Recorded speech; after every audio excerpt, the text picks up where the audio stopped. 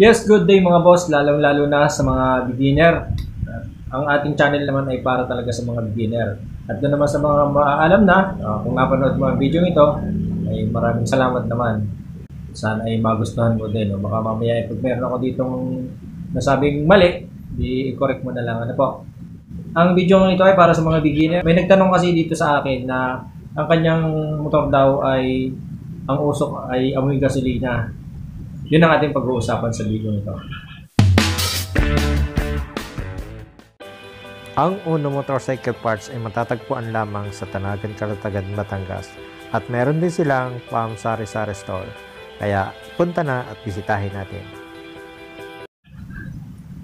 Ah, sa motor na nag-aamoy gasolina sa experience ko, ah, ako, matagal na ako nagmumotor. Kaya hindi kaila sa akin yung mga experiences ko sa pagmumotor. Dami na akong karanasan sa pagmumotor, sa paggagawa, uh, naranasan ko. Pagka ganyan nag-aamoy gasolina ang inyong ang usok o yung lumalabas sa tambot mo, malamang maraming gas ang tumatapon sa iyong intake manifold o sa iyong intake. Papunta sa intake manifold, papunta sa combustion chamber. Ah, marami kasi nga na yan, maraming dahilan, mga beginners. Marami pong nagiging dahilan yan. Una, ay baka mamaya yung inyong uh, kuryente ay mahina ang bigay. O kumbaga sa ano eh, ay dito nagkukulay yellow lang. Dapat uh, nag-blue yan tapos ipagka in-spark mo, dapat talagang mahaba yung kanya inilalayo mo na uh, halos nahabol pa rin yung blue pagka yung uh, itinarang mo tapos ay dinakit mo sa body dapat ay nag-blue hindi yung pagkain spark mo, yellow na, tapos pagkain nangat mo sa body, nawawala. Yun ang nagiging dahilan ng pag-amoy gasolina ng ating tambutso. Hindi nasusunog yung gas na tumatapon sa ating intake manifold. Ano ang ating pwedeng gawin? Una, i-check natin ang ating intake manifold at baka may mga singaw. Pangalawa, i-tune up natin ang ating carb. Dapat ay halimbawa ay Honda Wave 100. Yan. Ang pihit lang yan ay 2.5. Nung ka lang lalaro 2.5, hindi siya mag hindi siya mag T3. Halimbawa ay ito ito diretsyon ito. Ikot mo siya sa ilalim, kalahati. Pag idiniretsyon mo siya, pabalik doon sa taas, isa, tapos ikot mo uli. Sa kalahati, ikot pa uli. Dalawa, ikot mo pa uli ng kalahati, dalawa't kalahati. Yun, yun ang dalawat kalahati ng ating uh, carb ng pang Honda Wave 100. Iba naman sa TMX. Sa TMX ay ano, um, iba siya eh. Ang tune-up niya ay paatras. Minsan, yung aking tune-up na iba ay ano, uh, tatlo, minsan apat. Siyempre, kailangan pag mag-tune up ka, laging sasagad mo muna tapos saka mo hahanapin yung tamang minor niya. Kaya hindi ka naman makakapag adjust ng nasa taas ka, dahil paano mo bibilang? Pag sa TMX. Pero balik tayo sa ano, sa Honda lang, yung tinatanong sa atin na yung kanilang uh, tambutso ay ano, nag-aamoy gasolina. Yun na nga yun, kulang sa sunog o kaya naman sobra sa gas. Doon naman, uh, tapos na tayo sa ano, kulang sa sunog dahil mahina ang spark. Paano natin mariremedyohan yung mahina ang spark? Unang titestingin nyo, wala kasi tayong ano eh, wala kasi tayong sample dito. Dapat nagawa ko yun eh, kanina. Kaya lang iba yung ginawa natin kanina, hindi ko nagawa. Kaya pag-usapan na lang natin yun, baka sakaling maintindihan nyo. So, ayun na. Nandun na nga tayo sa kulang ang sunog, tapos ay, halimbawa ay madilaw ang spark. Ano ang pwede natin gawin? Uh, check natin yung ating um, high tension wire. High tension wire, i-crank nyo tapos idikit nyo sa body ground, huwag nyo kadikit. Kum kumawala kayo ng kahit ng mga half inch. Yan. I-crank nyo.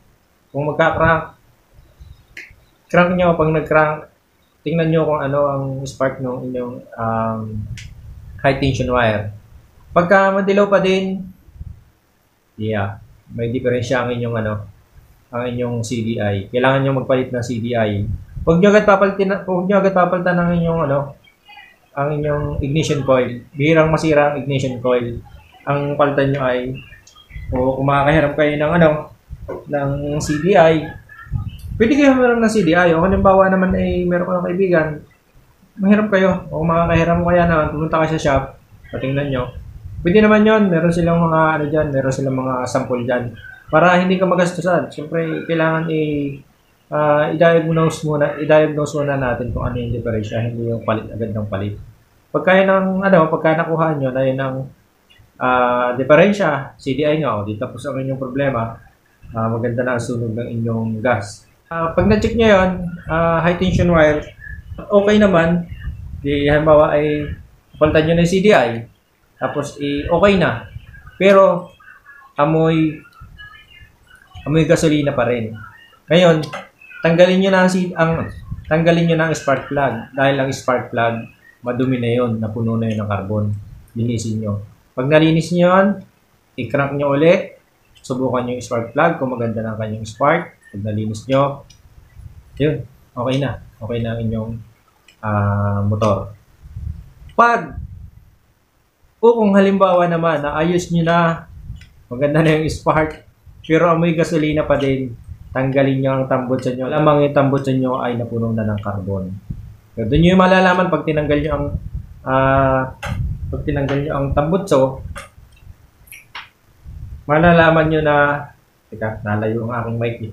At ito pa, pagka natanggal nyo na ang tambutso at talagang may itim na usok pa din doon sa inyong exhaust, ay uh, meron pang isang solusyon.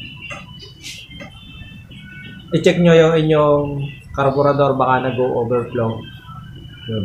Yun yung isang paraan na pwede natin gawin para maayos natin ang ating motor na uh, nag o nag nag-uusok o ang amoy ng kanyang exhaust ay amoy gas. So yun lang naman yun. Wala pa namang usok eh. Dahil pero yung itim na, yung ano na yon, yung amoy na yon, malapit na yun magusok. Pagka ganun. Mabuti nga, ano eh, yun lang yung nararamdaman. Pagka yun ay okay na, nagawa niyo lahat yung mga boss. Yan. Tapos na ang inyong problema. So, yan. Para sa mga beginner. So, maraming salamat mga boss sa inyong panonood sa video ito. Sana ay kahit ganito ang ating video ay kahit pa paano may naitulong pa rin sa inyo mga boss. Uh, meron ako kaninang ginawang vlog. So, siguro sa isang araw ko na lang siya i-upload. Ginawa ko lang tong video na to dahil siguro naisip ko kasi marami nagtatanong eh. Kaya sabi ko, gawin ko kaya ng video para iisang sagot na. Marami nagtatanong sa ating sa comment box sa ating uh, YouTube kaya ginawa ko na ng video. Siguro naman makakatulong to sa inyo mga boss. Uh, siguro tama yung ginawa ko na gumawa ko ng ganitong video. Kaya, ayan. Kung napanood mo ang video ito, at beginner ka, edi kahit pa paano ay meron kang napulot na idea. At kung ikaw naman ay maalam na, napanood mo ang video ito, ay comment ka na lang dyan sa baba kung tama ba yung sinabi ko o meron pa akong kailangan idagdag. Yun lang naman, tulungan lang naman tayo dito mga boss. Hindi naman tayo eksperto sa mga ganyan. Lahat naman tayo ay nag-umpis na sa wala. Walang idea. Kaya share-share lang para yung ibang hindi marunong, yung mga baguhan, hindi naman sa hindi marunong. Uh, sabihin natin mga baguhan. Um, Siyempre, mas magandang pakinggan. Ayan. Saka ano, uh, kung bago ka pa lang sa channel na to, bagong tuklas mo tong channel kong ito, subscribe naman dyan sa baba, tapos pindutin mo na rin yung bell button sa baba para ma-notify ka pag tayo ay merong bagong video. Yun lang. Marami pa tayong mga uploads na video dyan uh, puntahan nyo na lang, punta kayo sa, ano ko, sa, tag dito, sa wall ko. Puntahan nyo yung ating mga video dyan para mapanood nyo. Malay nyo, meron pa kayong makuhang idea. So, ayan. Maraming salamat mga boss. At uh, kita-kita ulit tayo sa susunod na video. I-upload ko agad to ngayon mga boss, itong gabing ito para meron na tayong update sa inyo. Kita-kita tayo sa susunod na video mga boss. Bye! Kung nagustuhan mo ang video ito, huwag mo kalimutan mag-subscribe ha at pindutin ang bell button niya sa baba para lagi kang updated sa mga bago nating videos. Salamat po!